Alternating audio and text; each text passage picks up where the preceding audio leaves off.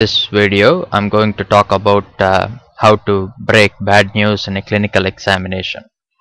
Whatever exam it is, whether it's uh, USMLE or PLAB or AMC clinical or New Zealand exam, there can be a breaking bad news station because it's very important station and uh, lots of overseas trained doctors fail this station.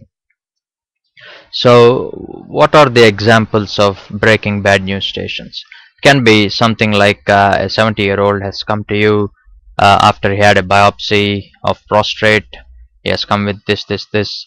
Um, and the results revealed uh, advanced metastatic cancer uh, explain the result to the patient. Or it can be um, a 50 year old has come to you after he had a biopsy of a nodule in the lung which showed uh, advanced uh, lung cancer explain the report.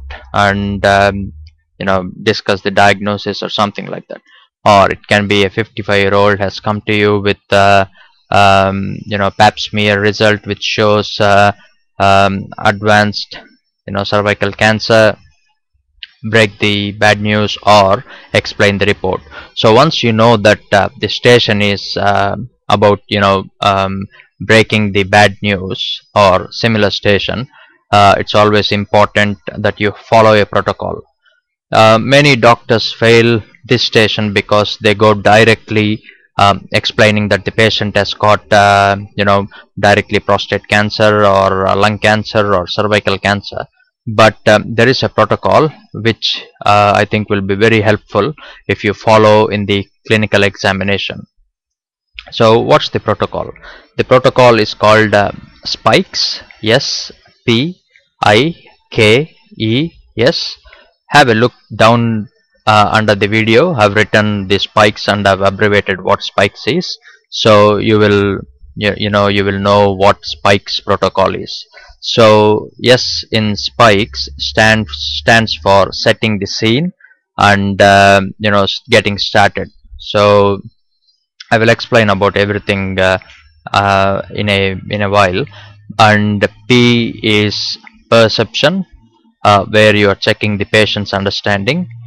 I in spikes stands for in invitation where you invite the patient to give bad news. K is knowledge where you check the patient's knowledge. E is empathy and S is support. And in this yes I have added the social worker as well. Uh, so the actual spikes protocol will not have social worker but um, you know when I deal with a uh, breaking bad news station I will try to involve a social worker as well so coming to the spikes protocol the main idea of spikes protocol is not to give the bad news directly to the patient saying oh Mr. Smith you have got this uh, uh, advanced prostate cancer uh, don't worry there is some you know radiotherapy or chemotherapy available uh, and you will probably die in few days. So you don't say this directly. And what the spikes protocol wants you to do is sensitize the patient first as if uh, you know that uh, just to tell the patient that uh, you're probably giving him a bad news. And then you know give the uh, bad news after a while. Once you build rapport with the patient um, it's very important you don't give the bad news straight away. So um, so what is mean what is meant by setting the scene? So usually the you know the breaking bad news should be in a quiet room where you have a board at the front of the room you know not to disturb um, and the you will be in attendance with the patient. And you can start actually telling the patient that the patient has got bad news by saying by asking the patient that um, you can ask him is there anyone waiting outside uh, so that I can you know talk to them as well while I'm having a chat with you. Usually if it's a you know uh, lung infection or ear infection or any bladder infection or anything like that you don't ask whether a family member is waiting outside or not. So you are actually telling the patient that uh, you're going to tell or talk to him something which is probably not a good thing so this is setting the scene. Then P is patient's perception. So you always check the patient's understanding. So you ask him uh, um, what what what does uh, he know about his health status? Or uh, you know what I'll actually read the actual question. So you can ask him how much does the patient knows? So or what do you think is happening with your health something like that just to check the patient's um, understanding. That is p then i is invitation. So so you invite the patient where you say um, are you a kind of person who would like to know everything if something goes wrong? See usually you don't talk all these things in your usual uh, clinical case but uh, you're actually telling all these things to tell the patient that uh, uh, you know there is not something uh, um, good news. So you're actually sensitizing the patient that uh, he is having a bad news. So you ask for family members waiting outside then uh, you check the patient's understanding what do you think is happening with his health? Then you invite the patient where you say are you a kind of person who would like to know everything if something goes wrong? Now you come to the actual you know part of breaking bad news which is knowledge where you show empathy again and uh, you usually tell this uh, like uh, uh, i'm afraid that the you know the prostate cancer result or i'm afraid that the lung cancer biopsy result have uh, come here and uh, actually the result is you know very high grade metastatic cancer or whatever it is you tell in simple language. Don't use medical terminology it's very important that you don't use medical terminology while you break bad news and always have everything organized. You know what you are going to do what you are going to talk what support groups you are going to talk about. You should have everything and please don't think in front of the patient. So you give the knowledge to the patient and uh, in the, in a clinical examination once you say this the patient will start crying. So immediately look for tissues.